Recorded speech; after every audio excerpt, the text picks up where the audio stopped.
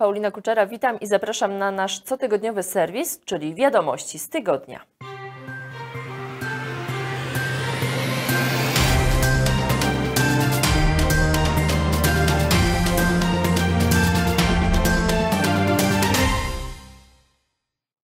Nowe Centrum Kulturalne na Powiślu Dąbrowskim. W piątkowe południe uroczyście otwarto samorządowe Centrum Kultury i Bibliotek w Szczucinie. Inwestycja ponad 10 milionów złotych, z czego 4,5 miliona e, środków pozyskanych ze środków e, rządowych, Rządowego Funduszu Inwestycji Lokalnych. Pozostała kwota z Małopolskiej Agencji Rozwoju Regionalnego w formie pożyczki. Największa inwestycja w ostatnich latach z dziedziny kultury w tej części regionu. Burmistrz Szczucina Jan Sipior uważa, że dzięki tej placówce nastąpi jeszcze większa integracja lokalnej społeczności. Myśląc o każdym rozwoju, o rozwoju każdej miejscowości, to trzeba myśleć o tych nowych, młodych pokoleniach, które no, mogą zadziałać, zostać tu m, tylko w tym momencie, kiedy będą się mogły rozwijać. Kiedy tego elementu nie będzie, no będą szukać innego miejsca. Zależy nam na tym, żeby te talenty, które mamy, pozostawały tu, no i rozwijały się.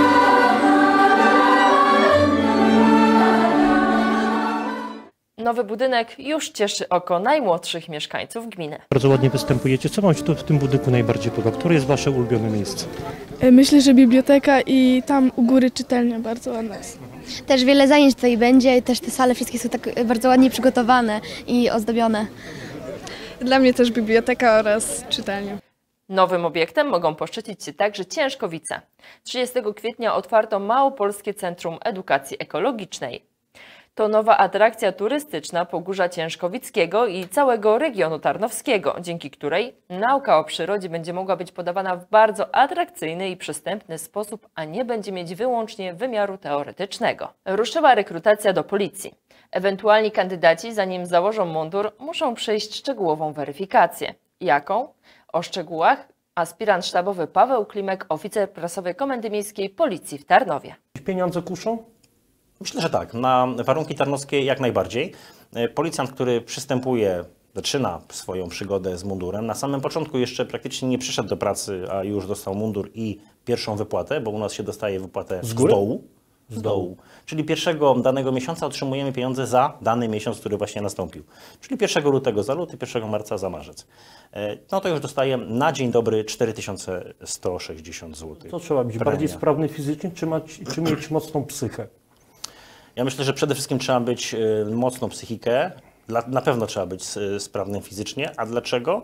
Ponieważ y, jak nie będziemy sprawni fizycznie, to jest jeden z etapów naszej kwalifikacji, który nas odrzuca. Odrzuca nas na dwa miesiące. Tarnowiec pamięta o swojej rodaczce, wybitnej poetce Józefie Fresztakowej, zmarłej w 2008 roku. Dla wielu osób była to kobieta nie tylko o wielkiej wrażliwości artystycznej, ale przede wszystkim dobry człowiek. Jest, jestem bardzo poruszony, bo zdawało mi się, że jestem gatunkiem wymierającym.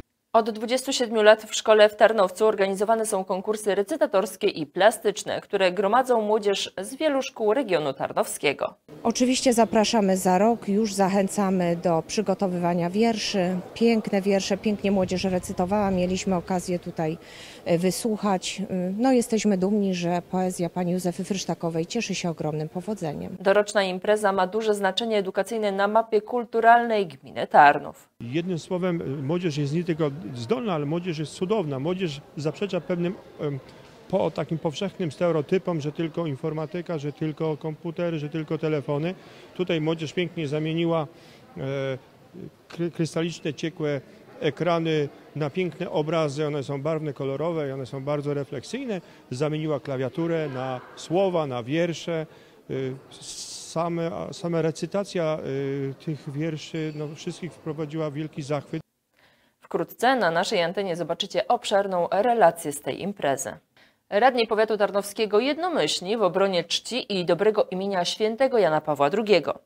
Podczas ostatniej sesji podjęto przez aklamację stosowną uchwałę. Dla mnie to jest temat w ogóle no, szokujący, jeśli chodzi o, że my musimy jako samorządowcy jednak e, stawać w obronie imienia Że my. Polacy musimy stawać w obronie naszego rodaka, na którego plują nasi rodacy.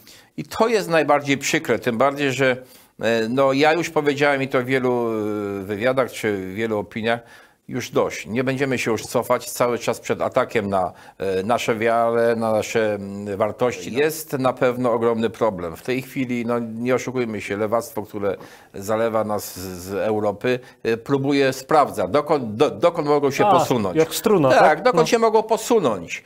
E, I w tej chwili już te ataki, te działania, ale też w innych tematach, bo przecież to jest temat dla nas ogromnie ważny, najważniejszy, bo przecież Jan, święty Jan Paweł II to jest dla nas mm, osobą, która no, no, no bez, bez, bezwzględnie jest, jest tą wartością, na, na, na której budujemy swoją e, tożsamość, swoje DNA. A już w najbliższą niedzielę o godzinie 13 rozpocznie się marsz w obronie dziedzictwa świętego Jana Pawła II. Zbiórka o godzinie 13 przy Placu Sobieskiego. Z okazji Światowego Dnia Świadomości Autyzmu 30 marca otwarto wystawę prac plastycznych dzieci z autyzmem z przedszkola specjalnego nr 36 pod parasolem przy specjalnym ośrodku szkolno-wychowawczym w Tarnowie. Tytuł wystawy to Moimi oczami malowane. W ramach wydarzenia odbył się także przemarsz uczniów i nauczycieli z przedszkoli integracyjnych w Tarnowie z niebieskimi balonikami i transparentami do zakątka Spycimirale Livity. Kilkaset kolorowych pisanek ozdobiło Tarnów. To już siódma edycja wydarzenia, która na stałe wpisała się w przedświąteczny pejzaż Tarnowa. Pisankowy desant y, to już siódma edycja. Tak naprawdę zrodziło się z takiej potrzeby uczestniczenia w tej przestrzeni publicznej, żeby pokazać polską tradycję. Wprawdzie nie, ma, nie, ma, nie było do tej pory w polskiej tradycji wieszania pisanek na drzewach, ale choinkę przecież też ktoś wymyślił, prawda?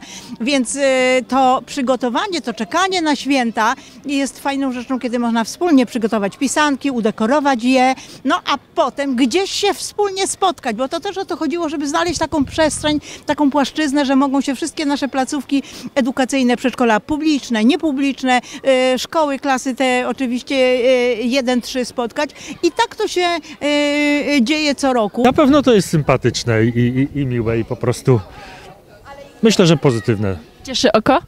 E, na pewno. Ale z tego co wiem, to już parę lat jest, bo ten, ten też wieszał. Tak, Jak Ci się podobało takie wieszanie? e, fajnie strasznie było. Z czym Ci się to kojarzy? E, no z Wielkanocą szczególnie. żeby święta były piękne, czego ja życzę wszystkim mieszkańcom Tarnowa. Wszystkiego najlepszego, dużo zdrowia, wesołych świąt, wesołego zajączka. Tradycyjnie pisanki przygotowali najmłodsi tarnowianie. Zmieniamy temat. Plan minimum wykonany. Siatkarki roleski grupy Azoty ANS Tarnów utrzymały się w ekstraklasie. W ostatniej kolejce sezonu zasadniczego Tauron Ligi żyrafy przegrały na wyjeździe z drużyną Wolej Wrocław 3 do 0.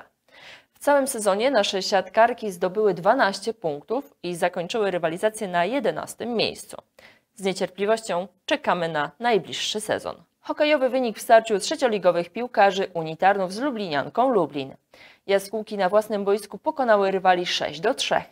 Hat-tricka ustrzelił Wiktor Putin. Oprócz niego na listę strzelców wpisali się Kamil Orlik, Artur Biały i Tomasz Palonek. A już jutro Tarnowianie powalczą z rezerwami Krakowi. Stoiska kulinarne i rękodzielnicze, gminny konkurs palm wielkanocnych, a także wspólne śpiewanie barki, by upamiętnić świętego Jana Pawła II. To wszystko czekać będzie na Państwa na Placu Targowym w gminie Pleśna, gdzie odbędzie się już druga odsłona Kiermaszu Wielkanocnego. Oprócz Kiermaszu zapraszamy także do Pleśnej na taneczne widowisko w ramach 17 ogólnopolskiego turnieju tańca towarzyskiego. Całodniowe zmagania par będziecie mogli oglądać także za pośrednictwem naszej transmisji dostępnej na social mediach, a także telewizji naziemnej. I na koniec nasz tradycyjny poradnik kulturalny. Dziś proponujemy spędzenie weekendu z dobrą książką, a rekomendacje przedstawia dyrektor Biblioteki Uczelnianej ANS w Tarnowie Bogumiła Stachura. Co pani będzie wybierała na weekend do czytania dla siebie? Co tam pani ma u siebie na półeczce, koło łóżka, koło na stoliku? Na półeczce? Na, na ten weekend, bo ma podobno trochę lać. Tak? No. No. dzisiaj nie wygląda, żeby, Nie no, żeby ale padało. to nie, nie chwalmy dnia przed zachodem słońca. Y, Teraz mam Wojciecha Chmielarza. Aha. Poczułam się zainspirowana właśnie wyrwą, więc czeka teraz Farma Lalek. I to wszystko na dziś. Życzymy miłego weekendu i do zobaczenia za tydzień.